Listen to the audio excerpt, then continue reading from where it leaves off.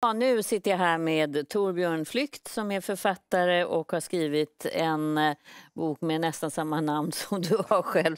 Lite annan stavning. Ja, Flyktväg.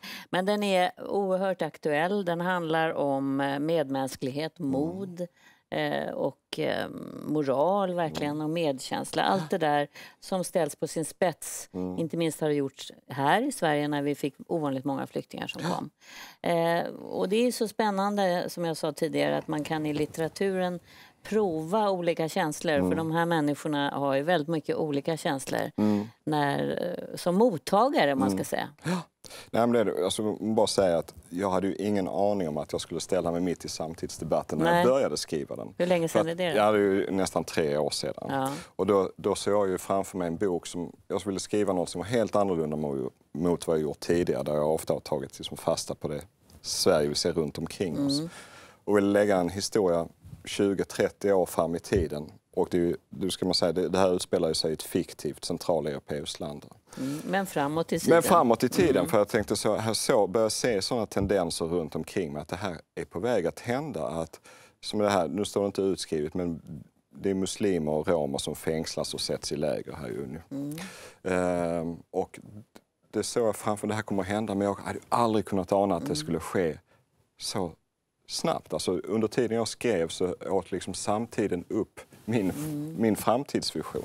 Mm. Så att jag, nu är vi ju nästan där. Ja. Alltså, måste, det här med lägren, i det här fiktiva landet sätts ju alla flyktingar som kommer in, som strömmar från ett stort krig, de sätts i läger på alltså, avlägsna platser i landet för att de inte ska synas liksom, i samhällsbilden. Mm. Precis samma har Danmarks näst största politiska parti på fullt allvar föreslagit ska öppnas i Danmark.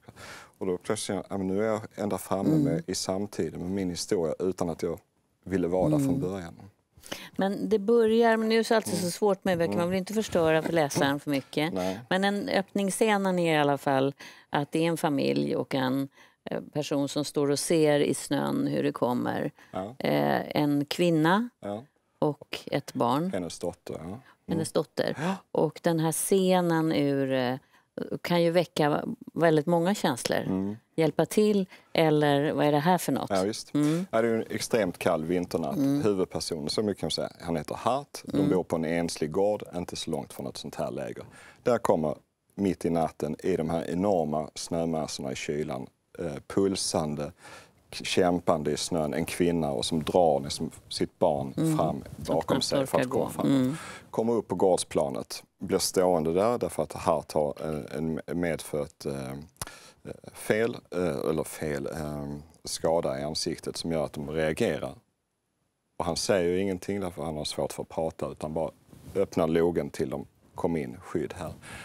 Och det vad du frågar egentligen var han har ju naturligtvis massa valalternativ mm. i den stunden. Mm. Ska jag hjälpa dem? Ska jag kontakta en myndighet? Mm. Här, han förstår ju att det här är människor på flykt någonstans. Mm. Så man inte får undan eh, eller gömma undan? Nej, just det. det för att han gör det med risk för sig mm. själv och sin mm. familjs säkerhet. Men sen så det är det som man många, många år senare får fråga morbror den natten då du gjorde det.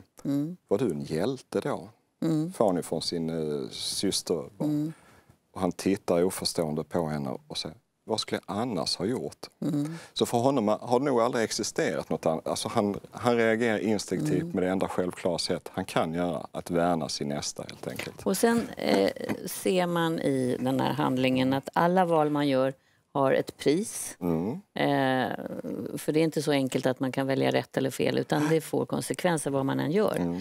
Eh, men det, du och jag pratade lite om mm. om det nästan är nedärvt. Eh, här i Mina doktorer pratar man ibland om saker som händer med mm. oss, vi förstår inte vad det är. Att det finns ett flockbeteende som är präglat sedan många, många år tillbaka. Så jag tänker, modiga människor, mm. har de, de har förmodligen haft en viktig betydelse. Ja i en flock. Men även de som inte är modiga har säkert också haft det. Ja, här är det ju... Alltså, han, det är svårt att prata om mod tror jag för Hart här i det här. Han känner Sen, inte så? Jag tror inte han känner sig Nej. modig. Sen finns det ju i familjekonstellationen i det här fallet är mamman och så två stycken äldre systrar. Mm. Eh, Hart själv är, är tonåring, över tonåren och de är då några år äldre. Och där finns ju konflikter där bland annat den äldsta systern inte är vad du ska säga, modig eller verkligen inte vill, det här ska vi inte beblanda oss med eller det här ska vi inte ha att göra med, det här är bara hot för oss själva. Men efter en del samtal så inser hon ju också att det här är det enda rätta man mm. kan göra. Vad är alternativet? Ja, mm. och det, jag tycker det är intressant det du lyfter, att det är mod av det här slaget, alltså en självklarhet att hjälpa de som har det sämre och är värre utsatta än vad du och jag är. Mm. Är det något medfött? Uppfostras man till det? Mm. Eller ligger det bara liksom, som en naturlighet i våra gener? Mm. Och det är inte alldeles lätt att säga vilket som är mm. vilket. Och rent filosofiskt kan man kanske se det som att ibland har eh, feghet räddat fler liv än mod. Mm. Eh, så det finns ju inget rätt eller Nej. fel. Men det, det intressanta med honom är att han, han bara gör, han bara han handlar. Bara gör. Och mm. han är också, den vetskapen vet man också med det handikapp han har och den person han är så vet han att han är också så att säga i riskzonen för att hamna i ett läger för att vara en som inte passar in i ett mm. samhälle som är totalitärt och som rensar ut. Mm. Du, han, han, är född med, med, med en gomspalt. väldigt kraftig gomspalt ja, och, och det finns inte pengar i familjen för att operera mm. därför att det, allt kostar av läkarvård mm. här. Men han har inget att förlora. Mm. Den som inte har något att förlora har kanske han riskerar ingenting med sitt mm. mod, men ja, han kan ju komma i läger och så här, men i, han vet ju att han är ändå riskerar att mm. hamna där. Vad tror du det gör med människor? Jag tänker du vänder och vrider på de här olika känslorna. Mm.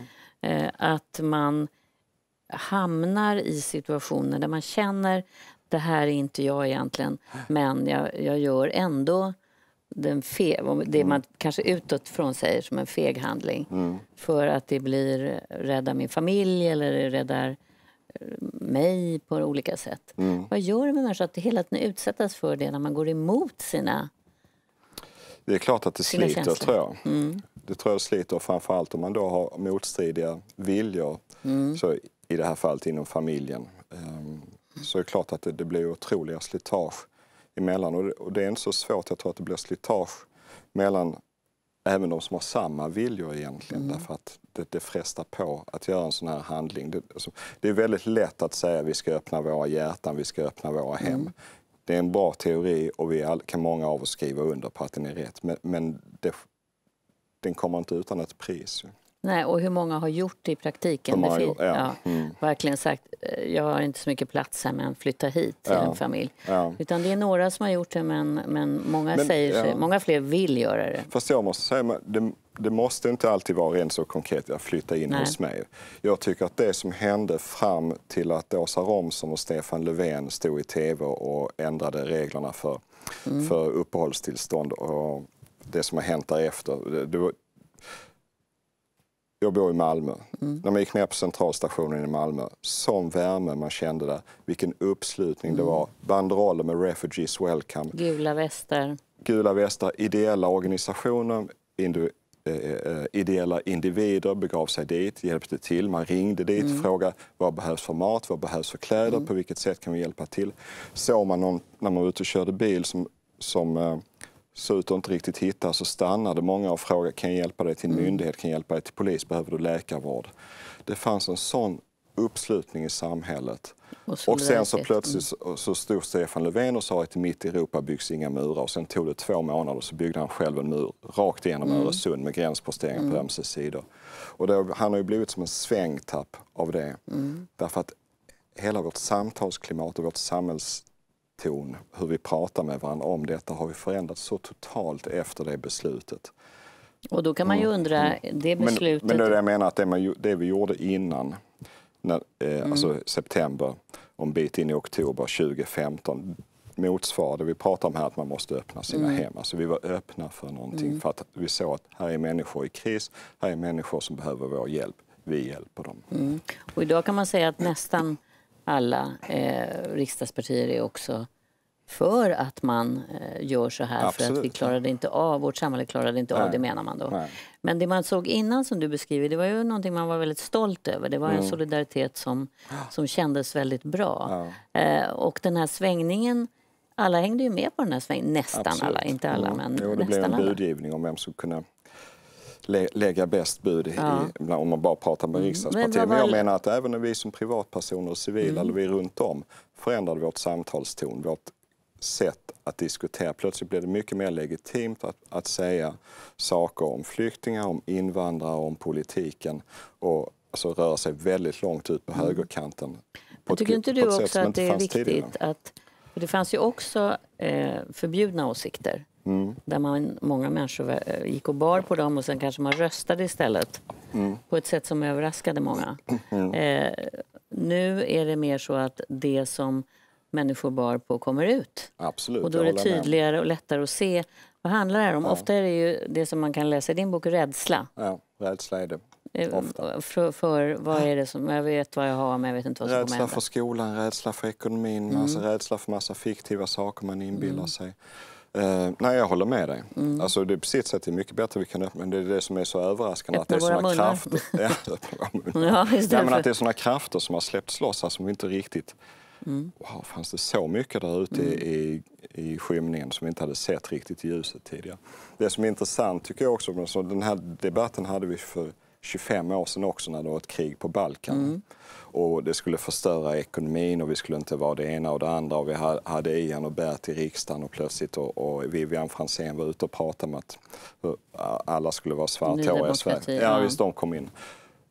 Vad har vi sett av det idag? På vilket sätt kan vi säga att det som hände för 25 år sedan påverkar dig och mig mm. idag. Ja, men det är en grupp som verkligen har integrerat sig ordentligt. Absolut, och det kan, kommer hända igen. Liksom det fanns mm. samma diskussion, men man får ju försöka ha lite tidsperspektiv på det också. Fast har samtidigt så pågår det eh, skjutningar, det mm. pågår eh, eh, förtryck mot kvinnor som vi har kämpat för i Sverige att få bort under så många år. Mm. Så det är också starka känslor Absolut, som ja. inte riktigt var okej att prata om. Mm. Och det tycker jag är så bra med en... Här kan man ju använda litteratur mm. också när man har läst den här tänker jag och prata genom de här versionerna mm. om de mm. här svåra känslorna. Ingen vill bli kallad rasist eller främlingsfientlig. Mm. Men, men många bär på rädslan. Mm. Men det är också intressant tycker jag hur olika man kan vara i en familj som du beskriver. Mm. Samma familj med, man tror i alla fall, samma värderingar.